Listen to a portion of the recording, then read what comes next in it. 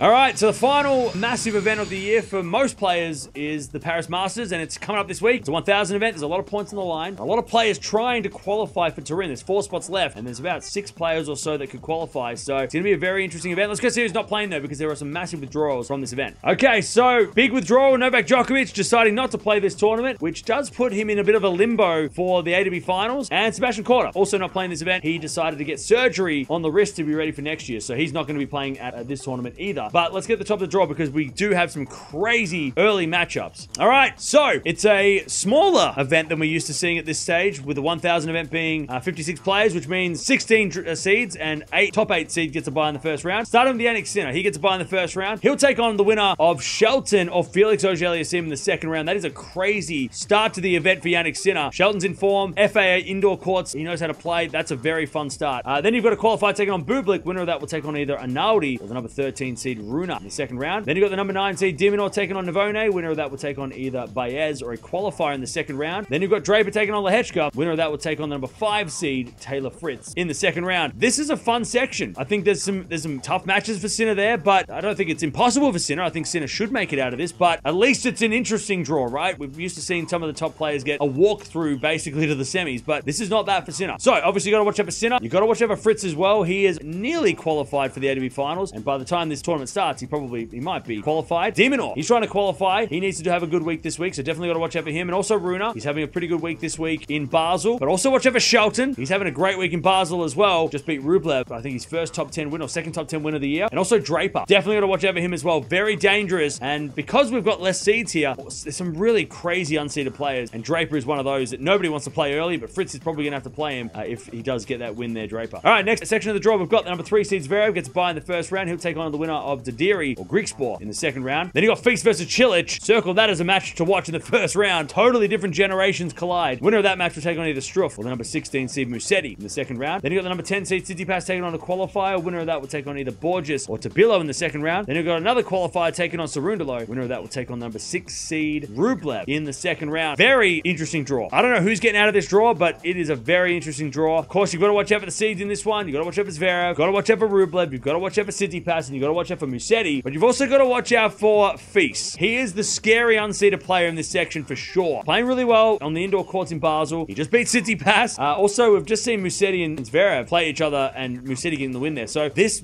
uh, section is probably the most stacked section. And who knows who comes out of this one because it's very, very dangerous for all the seeds. Uh, but remember, this section in the semifinals will take on the Sinner section. So we could be getting Sinner versus Zverev. If you want to go by the big names, maybe Sinner versus Rublev. If Rublev can come good, maybe Sinner versus Tsitsipas. If Tsitsipas can get on a run and make the semis like he did last year, maybe even Sinner versus Musetti. If uh, you want an all-Italian clash, if you think that Sinner's not going to make it somehow, maybe you want to go with Zverev taking on Fritz, which we've seen a lot lately. Maybe you want to go with Zverev versus de Minaur in the semis. Maybe Rublev versus de Minaur or Rublev versus Fritz. Or maybe if you want to go something really random, which maybe Musetti versus Rune, or maybe Fils versus Shelton. If you want to go something out of the box, unseeded players. Bottom half of the draw now, you've got the number eight seed Dimitrov. He gets a buy in the first round. He'll take on the winner of Etcheverry or Zhang in the in the second round. Then you got Machac taking on Rinderknech. Winner of that will take on either Michelsen the number 12 seed Hurkacz in the second round. Then you got the number 14 seed Tiafoe taking on Perricard. Very tough match for Big Foe, especially against a Frenchman with the big power of, of uh, in France. That's going to be dangerous. Winner of that match will take on either Khachanov or Carreño Busta in the second round. Then you got Popyrin taking on Berrettini. Winner of that match will take on the number 4 seed Medvedev in the second round. That is a tough match for Medvedev. Tough draw for Medvedev, really. Very dangerous, especially because Medvedev doesn't like playing in Paris. Not just on clay, he just doesn't vibe with the crowd.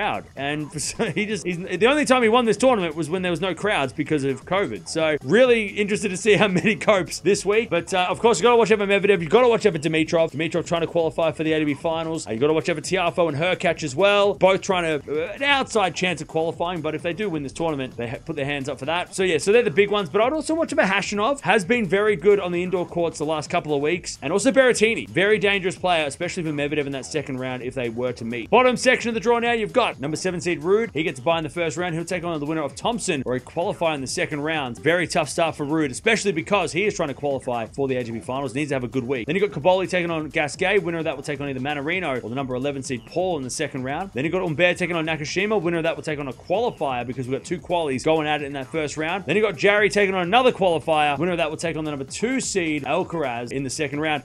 A weird draw because Alcaraz is the standout. He's got a lot of qualifiers in this section, which is great. But Paul and Humbert are not to be is not to not to be overlooked because both of them are very dangerous for Alcaraz, right? Tommy Paul, we know what he can do against Alcaraz, but you got to watch out for Alcaraz. You got to watch out for Paul. Got to watch out for Humbert. I'd be watching out for Ruud, but not as a threat, more as a can he qualify for the ATP final? So keeping an eye on Ruud against Thompson in that second round. I mean, that's a dangerous second round. Thompson did beat Ruud earlier in the year. Um, and I'd also watch out for Nakashima. Very dangerous player. Has proven himself over the last couple of weeks to be very dangerous for the seeds. So maybe Humbert doesn't get through that first round, and maybe it's going to be Nakashima Alcaraz in that third round instead. Of course, this section of the draw will take on the Medvedev section. So we could be getting Alcaraz versus Medvedev in the semifinals. We could be getting Alcaraz versus Dimitrov in the semis. Maybe Alcaraz versus Tiafoe or Alcaraz versus Hurkacz potentially. Maybe you don't think Alcaraz is going to make it. Maybe you want to go with Medvedev taking on Tommy Paul. Maybe you want to go with Medvedev versus Humbert. Maybe you want to go with something a little bit different. Maybe you want to throw Nakashima in there against uh, Hurkacz. Man, that is it's a very interesting draw in Paris, and there's a lot at stake. Not so much for the top players. The top four are fine; they're already in the ATP finals. But the players that are outside the top four are all playing for those final four spots, and also they're everyone's playing for form to get to the ATP finals with some some confidence. You know, so it's going to be very interesting. One week Masters, we don't get these much anymore, so it's going to be very fun to watch from the first round onwards. We're getting like banger matches from day one. Who's going to win this tournament though? Sinner's the obvious pick. Uh, and Medvedev. I mean, they're outsiders. Uh, Alcaraz. I mean, his indoor record needs to be improved. Maybe he can do that here. Maybe he can start to be an indoor player uh, in Paris, or maybe you want to go with someone outside because sometimes the Paris Masters throws up those kind of surprises, uh, as we've seen over the years with Rune, who was unseeded two years ago, Khachanov, Sock, just to name a couple. But man, Paris is going to be crazy. One week left of the season, or at least one big week left of the season. Who's going to win it?